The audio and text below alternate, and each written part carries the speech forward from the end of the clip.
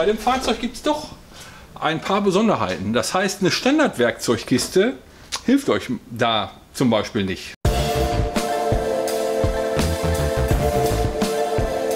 Hallo und herzlich willkommen zu diesem neuen Video und wir haben heute einen Renault Scenic, Megan Scenic oder äh, ich weiß gar nicht, ob der jetzt nur noch Scenic heißt. Ne?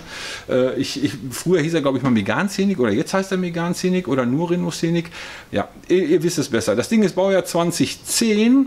Äh, Bremse ist runter, das machen wir mal eben. Und zwar Bremsklötze mit Scheiben an der Hinterachse und das Fahrzeug hat eine elektrische Feststellbremse. Ja, also ihr müsst das Ding mit dem Tester zurückfahren. Da soll es auch immer Möglichkeiten geben, mit Strom auf dem Motor machen und dann andersrum laufen lassen. Ganz ehrlich, ich habe das noch nie ausprobiert. Ich bin in dieser glücklichen Position, dass ich dafür natürlich auch einen Tester habe. Und äh, an so einem Ding habe ich jetzt auch so noch keine, was heißt ohne, Feste, äh, ohne elektrische Feststellbremse habe ich schon gemacht und ich bin mal gespannt, ob der King Bohlen das hinbekommt. Ich gehe da mal schwer von aus. Wenn ihr den Diagnosestecker sucht, zeige ich euch den nämlich. Ich musste nämlich auch erstmal ein bisschen gucken. Und äh, ja, letztendlich äh, würde ich sagen, geht's los. Wir machen Bremskürze und Scheiben an der Hinterachse bei einem Renault Scenic, Megane Scenic mit elektrischer Feststellbremse. Also Leute, der Diagnoseanschluss, der ist da. Ja, ich habe auch erst im Fußraum geguckt, da ist er aber nicht. In dem Fall müsst ihr praktisch dieses, dieses Getränkefach da hinten rausklipsen und dann kommt ihr da super dran und könnt praktisch da den Tester anschließen. Ja, der hat jetzt also als Schlüssel nur noch diese, diese Keycard. Und äh, ich mache mach das ganz gerne, dass ich die Zündung anlasse. Warum? Äh, ich habe mal gehört, es ist allerdings Hörensagen, dass es oftmals Probleme gibt, wenn ihr später die Bremse wieder ranfahren wollt und ihr habt dann irgendwie die Zündung ausgemacht. Das heißt, normalerweise ist es so, dass ich äh, zum Beispiel bei VB, ich mache dann äh, Ladegerät, ne, habe ich jetzt auch da dran, Ladegerät an die Batterie und äh, macht dann eben Bremskürze und Scheiben an der Hinterachse, äh, wenn das Fahrzeug eine elektrische Feststellbremse hat. Es ist aber so, der schaltet die Zündung sowieso automatisch aus, also macht das wenig Sinn. Das heißt, wir setzen jetzt mit dem Tester die Bremse zurück. Der hat also rechts und links zwei Motoren an den Sätteln. Äh, da gibt es ja auch die unterschiedlichsten Konstruktionen. Der hat das also wie bei VW auch, rechts und links ein E-Motor und da müsst ihr das ganze Ding zurückfahren und äh, das müsst, macht man am besten mit dem Tester. Ich weiß, dass es da wahrscheinlich auch andere Möglichkeiten gibt, aber ganz ehrlich, ich äh, habe es noch nicht ausprobiert. Was wichtig ist, wir wechseln auch die Bremsscheibe hinten. Und in dem Fall äh, müsst ihr immer ein bisschen aufpassen. Es gibt unterschiedliche Bremsscheiben-Durchmesser an der Hinterachse, also immer ein bisschen am, am besten nach Fahrgestellnummer raussuchen. Und das, was auch äh, vielleicht recht besonders ist, dass bei dem Fahrzeug hier der ABS-Ring mit hier dabei ist, ne, der Abnehmer und das Radlager. Das soll es wohl auch ohne geben. Ähm, ich habe aber keinen Bock drauf, da jetzt an den neuen Bremsscheiben die Radlager umzupressen. Das heißt, du müsstest ja entweder dann neue kaufen oder du würdest die alten dann praktisch hier einpressen. Und ganz ehrlich, das macht wenig Sinn. Und äh, so kannst du wenigstens sicher sein, dass du das praktisch nur ab und wieder draufstecken müsst. Ne? Also das wird als komplette Einheit geliefert. Das ist natürlich von den Kosten her, so, mal eben an die Seite legen. Von den Kosten her natürlich ein bisschen höher, ja, weil natürlich, äh, wie gesagt, der ABS-Ring dabei ist und äh, äh, da natürlich letztendlich auch noch die, äh, das Radlager drin ist. Und ihr solltet auf jeden Fall darauf achten, was ihr da kauft. Ja, also deswegen lieber mal in Online-Shops oder wo ihr kauft, ganz genau hinschauen. Unterschiedliche Durchmesser, manchmal werden die ohne ABS-Ring und ohne Radlager geliefert. Dann ist das zwar günstig, aber wollt ihr wirklich das Ding umbauen? Ja, ich habe da keinen Bock drauf, gerade wenn ihr so einen Ring umbaut, wenn ihr den ein bisschen verbiegt, dann habt ihr ein Theater mit dem ABS. Also da habe ich dann, ne, da bin ich also an der Stelle bin ich raus. Und ich dachte mir, wir machen das dann daher lieber komplett. So, und jetzt stellen wir eben die Bremse zurück. Ich mache Zündung an, dann zeige ich euch. Also wie gesagt, das soll auch irgendwie so gehen. Ne? Mit Motor, Strom drauf, Verkehr drum machen und dann geht das wieder zurück. Ganz ehrlich, kann man machen, glaube ich. Ne? Also wenn die Leute schreiben, wird es wohl gehen aber meins ist das nicht. Und äh, ich mache das jetzt hier mit dem Tester. Oh, das bin ich mal gespannt. Das heißt Bremsenrückstellung äh, bestätigen. Und äh, ja, Verbindung zum Adapter ist da. Und ah, mal gucken. Yes, yes, yes. So, jetzt gucken wir mal bei Renault, was die da schreiben. Renault. Zündung ist an. Fahrgestellnummer ähm, automatisch. Vegan 3. So, und äh, jetzt gehe ich hier auf Special Functions. Yes.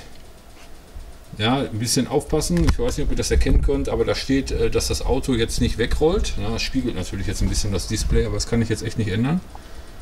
So, und dann könnt ihr jetzt hier ja, zurückgefahren. Command Finish. Okay. Und später macht ihr dann hier wieder auf Apply. Das mache ich jetzt ganz einfach mal. Fährt die Bremse wieder zu. Also ich fahre sie jetzt auf und dann machen wir das eben zusammen. Hey, ja Leute, kleiner Zeitsprung.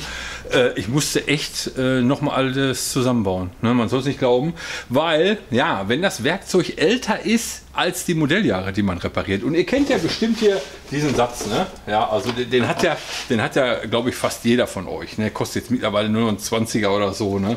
Hat auch schon ein bisschen gelitten. Ne? Also so eine Spindel, die ist natürlich dann auch mal schnell krumm. Und die sind ja super viele St äh, Druckstücke drin. Und bei dem Fahrzeug gibt es doch ein paar Besonderheiten. Das heißt, eine Standardwerkzeugkiste hilft euch da zum Beispiel nicht. Ne? Also da müsst ihr schon ein bisschen schauen. Und äh, ja, ihr müsst ja den Bremskolben, äh, habe ich ja gezeigt, ne? müsst ihr elektrisch zurückfahren und dann wird er zurückgedreht und dafür braucht ihr dieses Ding hier. Das ist nämlich so ein Dreikant ja, und der ist nämlich in diesen Standardsachen nicht drin. Das heißt, ich habe dann auch probiert, ob ich das damit irgendwie zurückgedreht bekomme. Ich habe nichts geschafft, wollte natürlich jetzt auch nichts kaputt machen. Was bedeutet, alles wieder zusammenbauen, Auto rausstellen und mal eben wie bei Amazon Prime, da Zucki, ne, kostet irgendwie 6,50 Euro oder so. Aber manchmal sind es eben genau diese 6,50 Euro die dann dazu beitragen, dass äh, so ein Auto dann mal eben noch eine Nacht hier stehen bleiben muss. So, jetzt habe ich das, jetzt stelle ich euch um und ich habe die elektrische Feststellbremse jetzt schon zurückgefahren. Das heißt, wir wechseln jetzt eben Bremsklötze mit Scheiben. Und ich hatte es ja schon gesagt, ich habe mich für die Variante mit Radlager entschieden, weil ich mir davon verspreche, eine einfache Montage. Und ganz ehrlich, dann ist hinten neu alles und ich glaube nicht, dass wir dann da vielleicht nie mehr dran müssen. Ne? Das ist ja dann immer so die Sache. Und wir hoffen mal, dass der oder diejenige dann mit diesem Problem nicht wieder zu uns kommt. Das heißt, ich stelle euch um und dann machen wir eben eine Bremse hinten. Wie immer als erstes das Rad abmachen.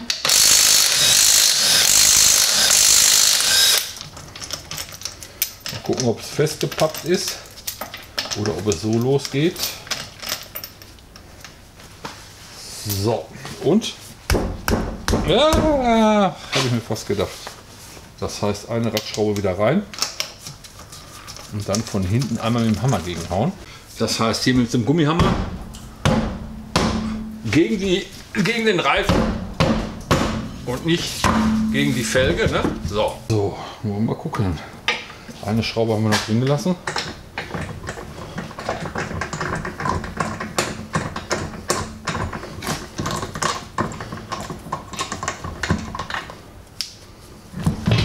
So, so sieht das Ganze aus. Und jetzt ist hier auch keine, keine Schraube drin. Und äh, wie gesagt, Feststellbremse ist los.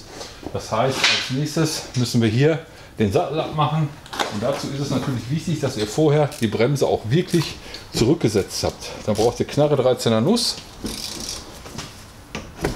Nummer 1 ist vorgelöst und Nummer 2 mit der großen Knarre kommt ihr dann nur mit einer Verlängerung dran. So, das hat auch einmal nachgegeben und dann könnt ihr das hier so abmachen. Hier braucht ihr noch einen 15er, um hier gegenzuhalten. Nummer 1 und Nummer 2. Dann habt ihr das hier quasi schon, schon ab und könnt den Sattel an die Seite legen. Nummer 2. Gucken, wir den jetzt hier abbekommen. Ja. ja. so schlecht ist die Bremse jetzt noch gar nicht. Aber wohl gequietscht haben, Geräusche machen. Ah ja, jetzt kommt sie neu und könnt jetzt quasi hier die, die Bremsklötze so rausnehmen. So, und jetzt braucht ihr noch eine, äh, eine 60er Torx. Ne? Ist also praktisch auch nicht in jeder Werkzeugkiste drin, T60. Und dann müsst ihr das Ganze hier losmachen.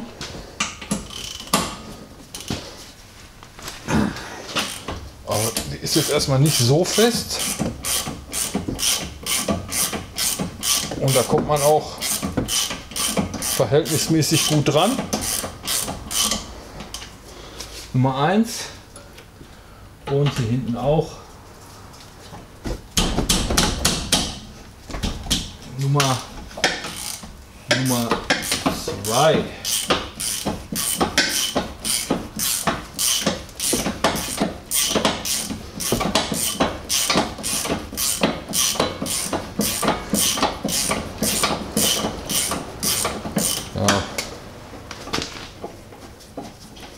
Nummer 1. Ja, das sind also praktisch hier Torx-Schrauben. Und äh, da müsst ihr eben schauen, dass ihr auf jeden Fall da einen 60er Torx habt. Ich verlinke euch mal meinen Torx-Satz unten. So, dann könnt ihr das hier abnehmen. Jetzt kommt als nächstes, ihr seht, das Ding ist mit Radlager integriert, was bedeutet, wir müssen jetzt den Deckel hier abmachen. Am besten mit dem Meißel dahinter gehen. 180 Grad drehen und dann auch wieder dahinter.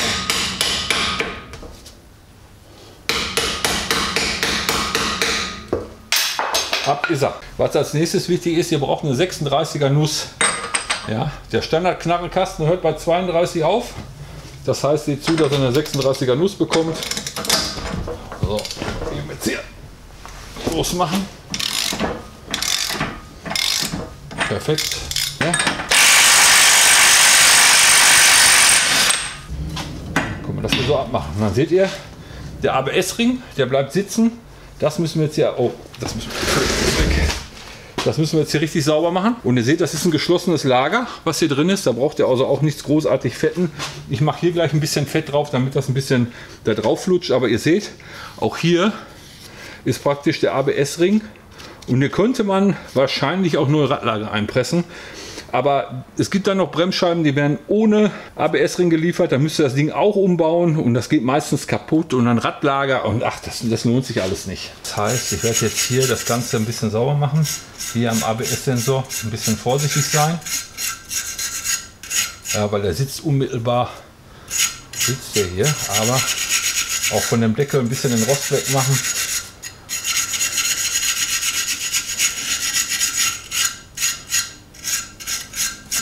Ich glaube, das sieht doch schon ganz gut aus. So, und auch hier ein bisschen sauber machen. Ja, sieht doch gut aus. Perfekt. Und das müsst ihr hier natürlich mit diesem Dreikant-Ding äh, quasi den Sattel wieder zurückdrehen mache ich jetzt mal eben. Das kennt ihr mittlerweile ne? ganz normal. Rechts rum, zurückdrehen.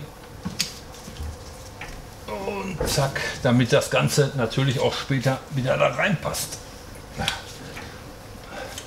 Also die werden trotzdem zurückgedreht. Ne? Also die werden sowohl zurückgestellt mit dem Elektromotor als auch zurückgedreht. So.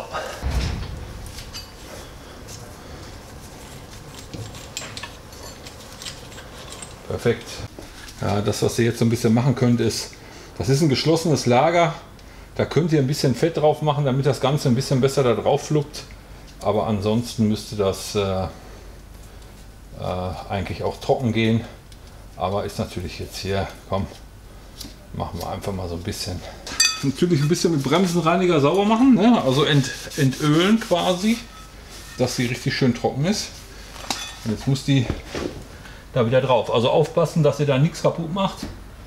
Ne, dass ihr da nicht den, den Sensorring beschädigt. Und manchmal gehen die am Anfang ein bisschen schwer, aber ihr seht, die muss schon so drauf fluppen. Ne? Jetzt haben wir natürlich hier auch eine neue Mutter. Die machen wir natürlich auch hier drauf. So, die ziehen wir mal vor.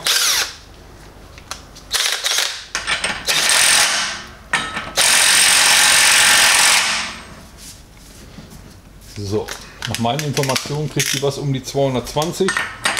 Schaut lieber noch mal im Netz nach. Ja, komm schon. Jawohl. Und hier ist natürlich jetzt so ein neuer Deckel. Und das, was ich immer mache, das müsst ihr nicht unbedingt machen, aber manchmal ist das nicht ganz dicht. So, und dann nehme ich hier so ein bisschen Dichtmasse und mache das einfach hier so ein bisschen drumrum. Ganz, ganz wenig. Nicht in den Deckel, ne? aber einfach nur, damit das Ganze einmal rundherum so dicht ist. So, jetzt muss der Deckel wieder drauf. In dem Fall habe ich jetzt hier so eine alte Lagerschale von einem alten Radlager. Das passt nämlich wunderbar. Und dann können wir das jetzt hier so drauf machen.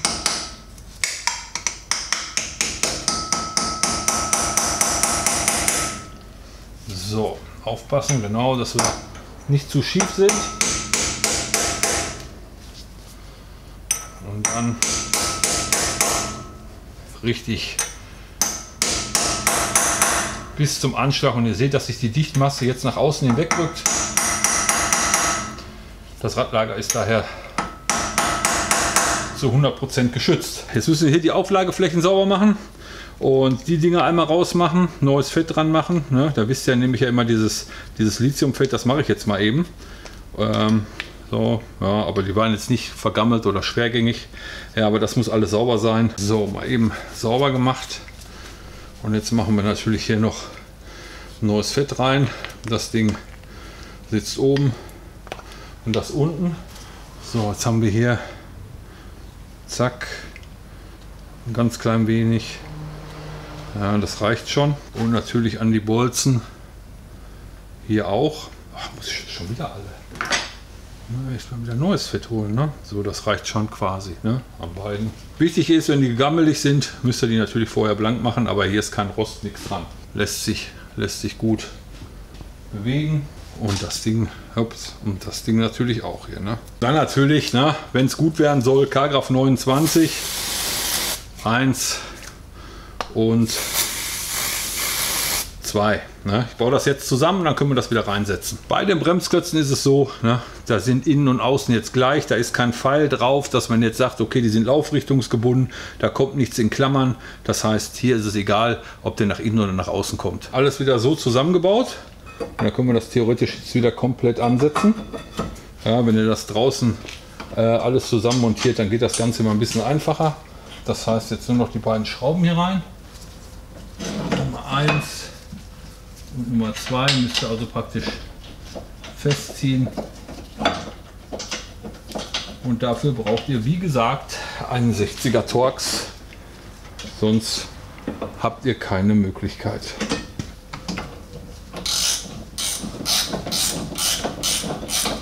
Festziehen und gut ist. Jetzt müssen wir nur noch die beiden Schrauben hier drauf machen.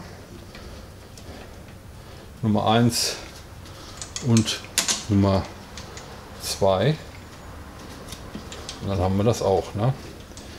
Also alles in umgekehrter Reihenfolge wieder zusammenbauen, wie es so schön heißt. Ich habe jetzt alles wieder zusammen, müsst natürlich noch Radschrauben festziehen und so weiter. Das kennt ihr mittlerweile. Und dann müsst ihr natürlich jetzt auch die Kolben wieder dran fahren. Da müsst ihr zwei, dreimal auf die Bremse treten und dann natürlich den Bremsflüssigkeitsstand auf Maximum auffüllen. Und ich hatte, glaube ich, am Anfang des Videos gesagt, dass ich gerne die Zündung dabei anlasse. Ne, dann mache ich das eben rucki weil ich schon von dem einen oder anderen gehört habe, dass es besser ist, die Zündung anzulassen mit Batterieladegerät, als, ja, als äh, die Zündung auszumachen. Da sollen sich wohl manche Steuergeräte schon aufgegangen haben. Das ist aber Hörensagen. Ja? Also mir ist das bis jetzt noch nicht passiert.